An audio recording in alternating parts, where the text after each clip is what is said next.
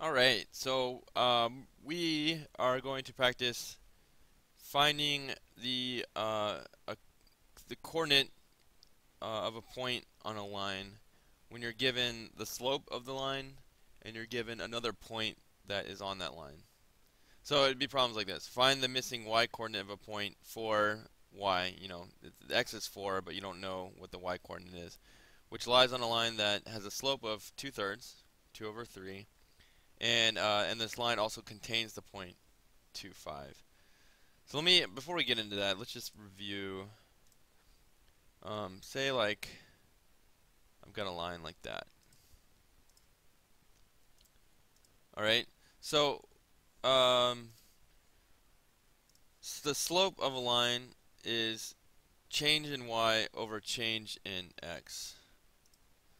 Change delta just means change. It's delta sign. The change in y over the change in x. Or you, you might have heard it called, you know, rise over run. I like to call it change in y over change in x because rise and run doesn't really mean anything to me. But uh, plus, anyway. Okay, so what does this mean really? So what's the slope of this line?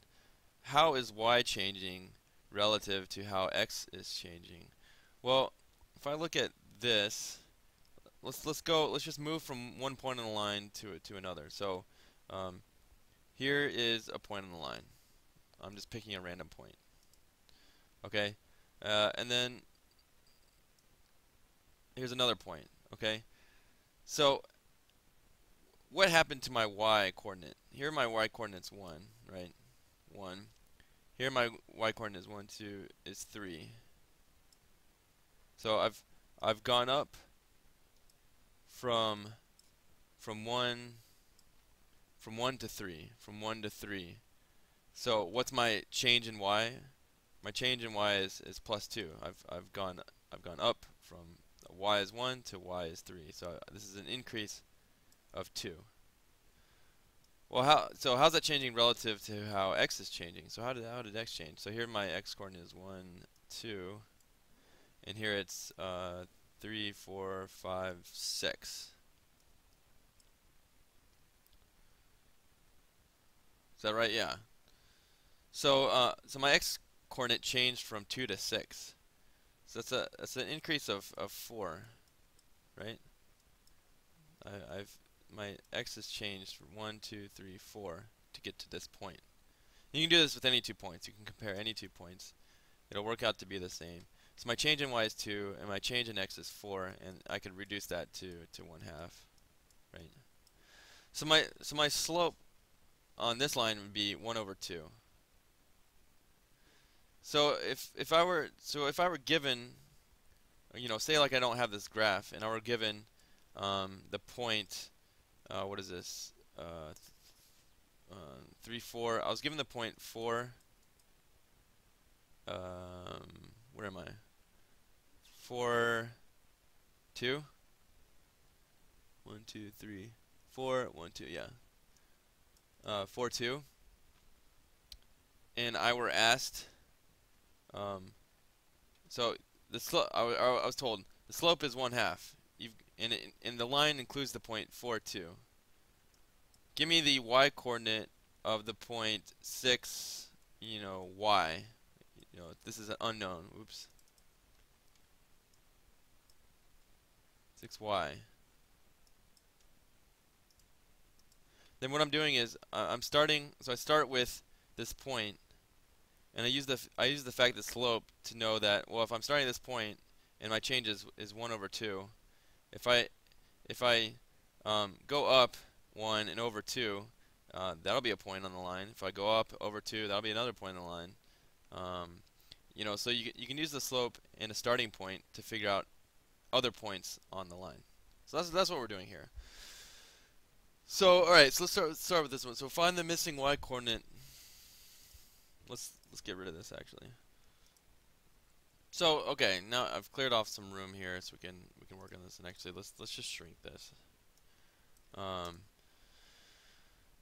So now that we've kind of review what what is slope really, I think this this will make sense. So slope slope is the change in y over the change in x. Okay, so, okay. We want to find a missing y coordinate here. So, uh, I mean, the slope is 2 thirds. So, 2 thirds will equal, um, so it's going to contain the point 2, 5. X is 2 and y is as 5. So, we've got both both x coordinates here. So let's let's start with that. Let me do a different color here. Um, so as we as we move from this point to to, this point, um, we're gonna do. We're gonna start with our um, ending x coordinate minus our beginning, and this will tell us how much x has changed. Right? So if, if I go from 2 to 4, I do 4 minus 2, and that tells me that um, the change in x is 2. So that's that's all we're doing here, 4 minus 2. Um, or you can think of it as the, the second x coordinate minus the first x coordinate, right? Um, what's our top going to be? What's our change in y? Well, uh, we don't know our um, second y coordinate. We're, we do not know where we're ending up, so we're just going to call that y. Um, but we knew we do know where we started, and that's and that's uh, y is 5. So you can think of this top as y2 minus y1.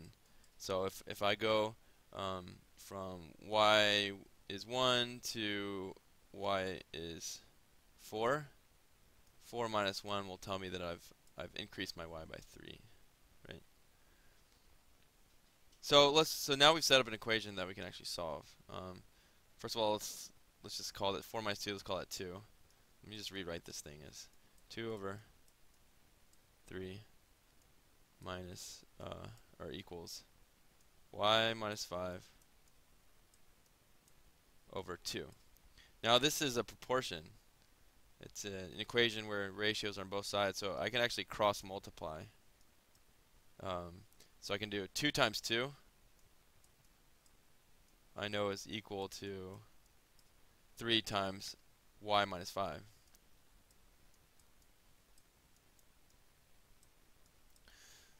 Right, so 4 is equal to, um, we can distribute the 3, 3y minus 15.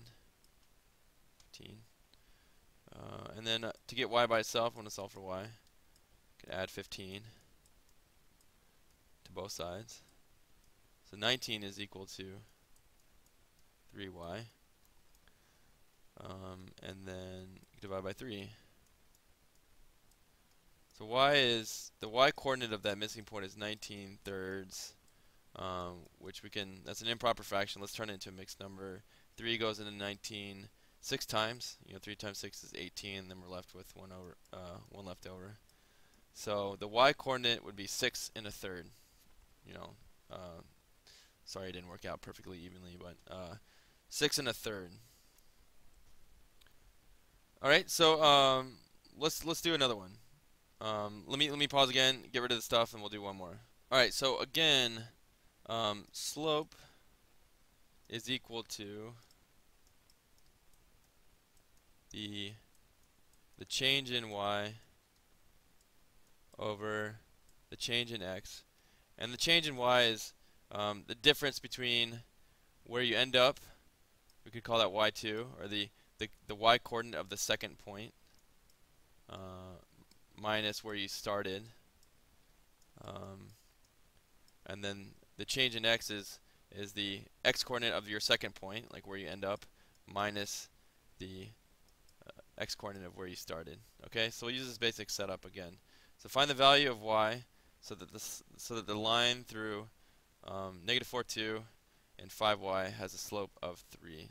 So let's let's just name um, our our points here. We'll call this uh, 1 and we'll call this 2. So if we're talking about x1, this is x1. If we're talking about x2, this is x2. If we're talking about y1, that's y1. X, uh, y2 is there. Okay, and it has a slope of 3. So the slope is equal to the change in y over change in x. So, so 3 And I'm going to call this 3 over 1, actually. Um, so we can set up a proportion like we did in the last problem. So, or I guess so it's, so it's clear that there's a proportion going on. So the slope of 3 is equal to uh, the changes in the y. So y2 minus y1. So we're calling this the second point. Uh, you could do it the other way around too. Um, y2 would be just y. We don't know that yet. Minus y1 is 2. So that'll tell us the differences in, in the y's, or the distance between the y's, um, the change in y. Uh, so over x2 minus x1, so x2 is 5, the x-coordinate of our second point, minus the x-coordinate of our first point. Okay. So um, if you're subtracting a negative number, that's equivalent to adding. So let me just clear this up here. So we have 3 over 1 is equal to y minus 2 over 9. Now we can cross multiply and solve. So uh, 3 times 9 is 27. And that's equal to 1 times y minus 2, which is uh, y minus 2. So to get y by itself, we need to undo the fact that it's being subtracted by 2. Um, so that's gone. 27 plus 2 is 29 equals y. So the value of y um, for this point would be 29.